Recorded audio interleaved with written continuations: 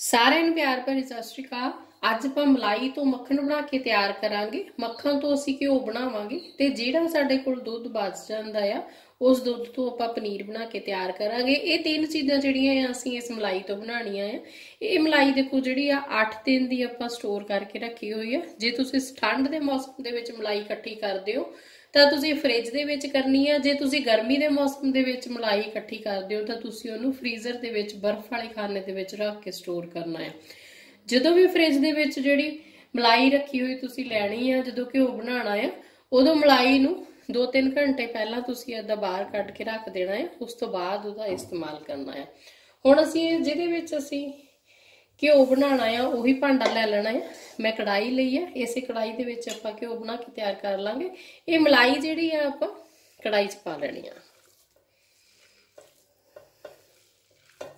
ਕੜਾਈ ਦੇ ਵਿੱਚ ਮਲਾਈ ਪਾ ਕੇ, ਹੁਣ ਅਸੀਂ ਇਹਦੇ ਵਿੱਚ ਥੋੜਾ ਜਿਹਾ ਗਰਮ ਪਾਣੀ ਪਾਣਾ ਆ। ਪਾਣੀ ਜਿਹੜਾ ਆ, ਦੇਖੋ ਥੋੜਾ ਥੋੜਾ ਕਰਕੇ ਪਾਣਾ ਆ। ਇੱਕਦਮ ਜ਼ਿਆਦਾ ਪਾਣੀ ਨਹੀਂ ਪਾਣਾ ਜੇ ਠੰਡ ਦਾ ਮੌਸਮ ਹੋਵੇ ਤਾਂ ਤੁਸੀਂ ਜਿਹੜਾ ਪਾਣੀ ਆ ਐਦਾਂ ਕੋਸਾ ਪਾ ਸਕਦੇ ਹੋ ਤੇ ਜੇ ਗਰਮੀ ਦਾ ਮੌਸਮ ਹੋਵੇ, ਫਿਰ ਤੁਸੀਂ ਠੰਡਾ ਪਾਣੀ ਪਾਣਾ ਹੈ। ਪਾਣੀ ਪਾਣ ਨਾਲ ਮਲਾਈ ਜਿਹੜੀ ਆ ਸਾਡੀ ਨਰਮ ਹੋ ਜੂਗੀ। ਮੈਂ ਤਾਂ ਦੇਖੋ ਇਹਨੂੰ ਐਦਾਂ ਚਮਚੇ ਦੇ ਨਾਲ ਹੀ ਫੈਂਟ ਲੈਣਾ ਹੈ। ਤੇ ਤੁਸੀਂ ਮਧਾਣੀ ਦਾ ਇਸਤੇਮਾਲ ਵੀ ਕਰ ਸਕਦੇ ਹੋ, ਮਿਕਸੀ ਦਾ ਇਸਤੇਮਾਲ ਵੀ ਕਰ ਸਕਦੇ ਹੋ, ਹੈਂਡ ਬਲੈਂਡਰ ਆਂਦਾ ਆ ਉਹਦੇ ਨਾਲ ਵੀ ਤੁਸੀਂ ਜਿਹੜਾ ਮੱਖਣ ਕੱਢ ਸਕਦੇ ਹੋ।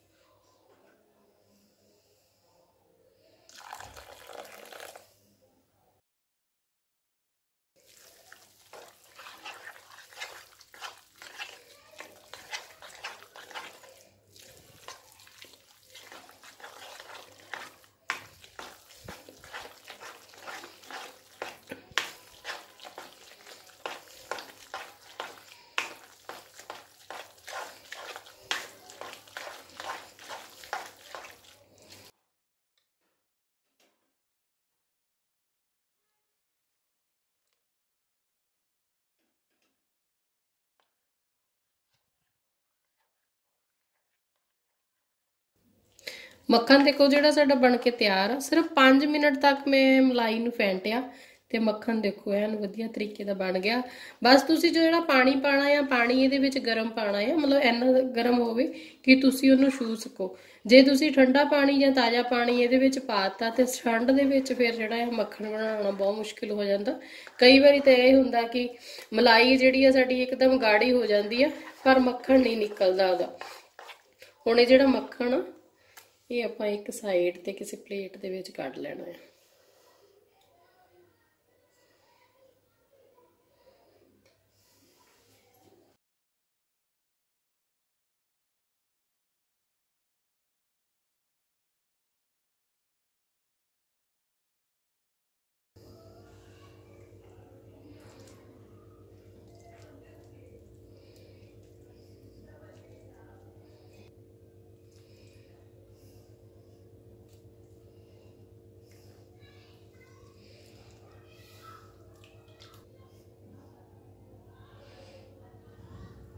ਮੱਖਣ ਜਿਹੜਾ ਦੇਖੋ ਆਪਾਂ ਕੱਢ ਲਿਆ, ਇਹਨੂੰ ਆਪਾਂ ਸਾਈਡ ਤੇ ਰੱਖ ਦੇਣਾ ਆ।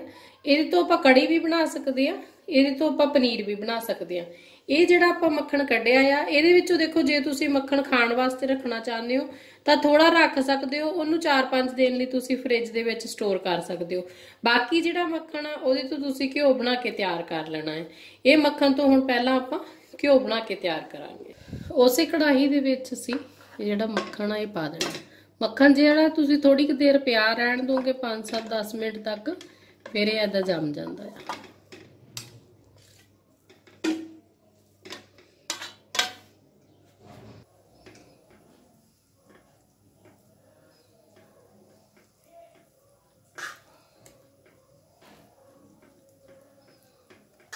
ਸੇਕ ਜਿਹੜਾ ਆ ਆਪਾਂ ਤੇਜ਼ ਰੱਖਿਆ ਹੋਇਆ।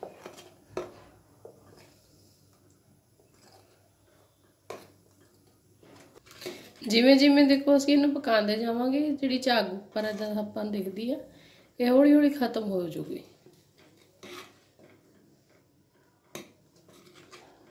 ਝੱਗ ਦੇਖੋ ਜਿਹੜੀ ਆ, ਹੁਣ ਇਹਦੀ ਖਤਮ ਹੋ ਗਈ, ਹੌਲੀ ਹੌਲੀ ਇਦਾਂ ਖਤਮ ਹੋ ਜਾਂਦੀ ਇਸ ਤੋਂ ਬਾਅਦ ਹੁਣ ਜਿਹੜਾ ਸੇਕ ਥੋੜਾ ਜਿਹਾ ਘੱਟ ਕਰ ਦੇਣਾ ਹੈ ਤੇ ਇਹਨੂੰ ਥੱਲੇ ਤੱਕ ਹਿਲਾਣਾ ਆ। ਜਦੋਂ ਇਸ ਤਰੀਕੇ ਦੇ ਨਾਲ ਘਿਓ ਜਿਹੜਾ ਬਣਨਾ ਸ਼ੁਰੂ ਹੋ ਜਾਵੇ ਸੇਕ ਜਿਹੜਾ ਹੈ ਬਿਲਕੁਲ ਘੱਟ ਕਰ ਦੇਣਾ ਹੈ, ਕਿਉਂਕਿ ਇਸ ਟਾਈਮ ਛਿੱਟੇ ਪੈਣੇ ਸ਼ੁਰੂ ਹੋ ਜਾਂਦੇ ਆ ਤੇ ਇਹਨੂੰ ਐਦਾਂ ਵਿੱਚੋਂ ਵਿੱਚੋਂ ਹਲਾਈ ਜਾਣਾ ਹੈ।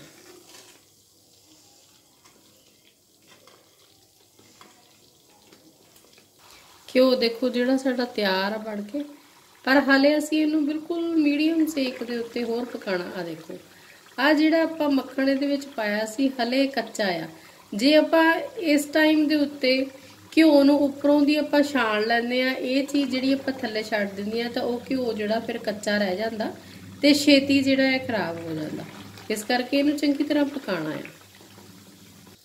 ਘਿਓ ਦੇਖੋ ਜਿਹੜਾ ਸਾਡਾ ਬਣ ਕੇ ਤਿਆਰ ਆ। ਜਿਹੜੇ ਦੇਖੋ ਇਹਦੇ ਵਿੱਚ ਮਾਵਾ ਆ, ਇਹਦਾ ਰੰਗ ਦੇਖੋ ਇਸ ਤਰੀਕੇ ਦੇ ਨਾਲ ਹੋਣਾ ਚਾਹੀਦਾ ਆ।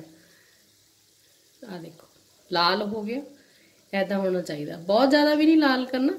ਲੋ ਇੰਨਾ ਹਲਕਾ ਇਹਦੇ ਵਿੱਚ ਲਾਲਗੀ ਪਾਣ ਜਿਹੜੀ ਹੋਣੀ ਚਾਹੀਦੀ ਆ। ਗੈਸ ਪਾ ਬੰਦ ਕਰ ਦੇਣੀ ਆ। ਹੁਣ ਇਹਨੂੰ ਠੰਡਾ ਕਰ ਲੈਣਾ ਆ। ਠੰਡਾ ਕਰਕੇ ਫਿਰ ਇਹਨੂੰ ਆਪਾਂ ਕਿਸੇ ਡੱਬੇ ਦੇ ਵਿੱਚ ਪਾ ਕੇ ਛਾਣ ਲਾਂਗੇ। ਹੁਣ ਆਪਾਂ ਬਣਾਵਾਂਗੇ ਇਹ ਤੋਂ ਪਨੀਰ। ਇਹਦੇ ਵਿੱਚ ਪਾਵਾਂਗੇ 1 ਕੱਪ ਦੁੱਧ ਦਾ।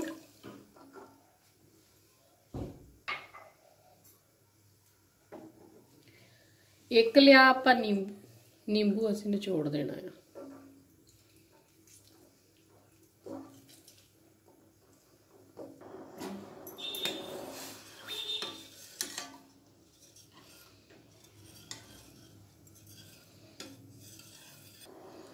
ਆ ਦੇਖੋ ਇਹਨੇ ਫਟਣਾ ਸ਼ੁਰੂ ਕਰ ਦਿੱਤਾ ਹੈ ਥੋੜਾ ਥੋੜਾ ਬਸ ਇਹਨੂੰ ਇਦਾਂ ਹਲਾਈ ਜਾਣਾ ਹੈ ਦੁੱਧ ਦੇਖੋ ਜਿਹੜਾ ਹੈ ਸਾਡਾ ਫਟ ਗਿਆ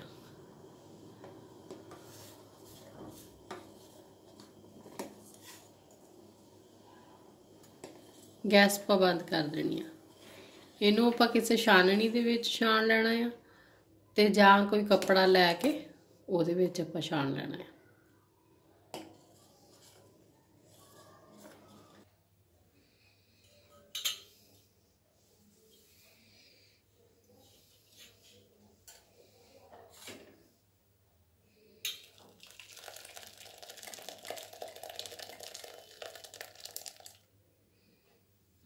ਇੱਕ ਕੱਪ ਪਾਵਾਂਗੇ ਅਸੀਂ ਇਹਦੇ ਤੇ ਪਾਣੀ, ਕਿਉਂਕਿ ਆਪਾਂ ਇਹਦੇ ਵਿੱਚ ਨਿੰਬੂ ਪਾਇਆ ਸੀ। ਨਿੰਬੂ ਦਾ ਫਿਰ ਜਿਹੜੇ ਖੱਟਾ ਪਾਣਾ ਉਹ ਨਿਕਲ ਜੂਗਾ ਪਨੀਰ ਚੋਂ।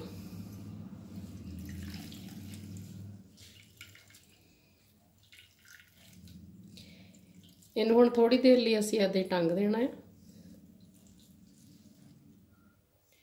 ਪਨੀਰ ਦੇਖੋ ਜਿਹੜਾ ਸਾਡਾ ਹੋ ਗਿਆ ਸੈੱਟ ਥੋੜੀ ਦੇਰ ਇਹਨੂੰ ਭਾਰੀ ਚੀਜ਼ ਦੇ ਨਾਲ ਇਹਦਾ ਦਬਾ ਕੇ ਰੱਖਤਾ ਸੀ।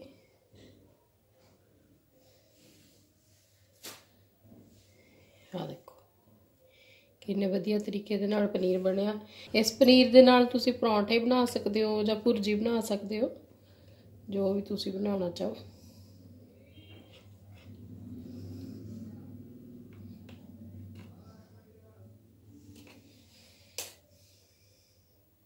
ਆ ਦੇਖੋ।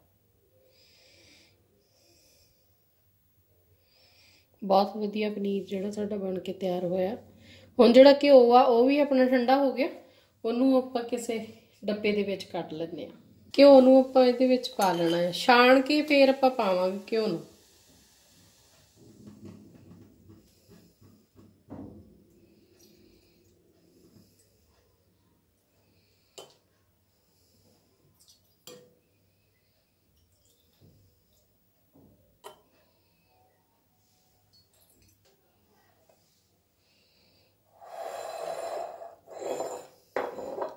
ਇਹ ਦੇਖੋ ਜਿਹੜਾ ਬਚ ਗਿਆ ਇਹ ਸਾਡਾ ਮਾਵਾ ਆ ਇਹਨੂੰ ਤੁਸੀਂ ਮਾਵੇ ਦੇ ਤਰ੍ਹਾਂ ਇਹਨੂੰ ਕਿਸੇ ਮਠਿਆਈ ਦੇ ਵਿੱਚ ਵੀ ਇਸਤੇਮਾਲ ਕਰ ਸਕਦੇ ਹੋ। ਜਾਂ ਤੁਸੀਂ ਕੋਈ ਸਬਜ਼ੀ ਬਣਾਉਂਦੇ ਹੋ, ਉਹਦੇ ਵਿੱਚ ਵੀ ਤੁਸੀਂ ਇਹਨੂੰ ਪਾ ਸਕਦੇ ਹੋ। ਕੋਫਤੇ ਬਣਾਉਂਦੇ ਹੋ, ਕੋਫਤਿਆਂ ਦੇ ਵਿੱਚ ਵੀ ਇਸਤੇਮਾਲ ਕਰ ਸਕਦੇ ਹੋ। ਆ ਦੇਖੋ, ਘਿਓ ਦੇਖੋ ਜਿਹੜਾ ਸਾਡਾ ਸਾਰਾ ਬਣ ਗਿਆ ਤੇ ਘਿਓ ਦਾ ਰੰਗ ਦੇਖੋ ਕਿੰਨਾ ਵਧੀਆ ਆ ਕੋਈ ਵੀ ਚੀਜ਼ ਦੇਖੋ ਜਿਹੜੀ ਹੈ, ਇਹਦੇ ਵਿੱਚ ਆਪਾਂ ਮਲਾਈ ਨਹੀਂ ਆ। ਬਿਲਕੁਲ origignal ਜਿਹੜਾ ਆ ਇਹ ਸਾਡਾ ਘਿਓ ਬਣ ਕੇ ਤਿਆਰ ਹੋਇਆ ਆ।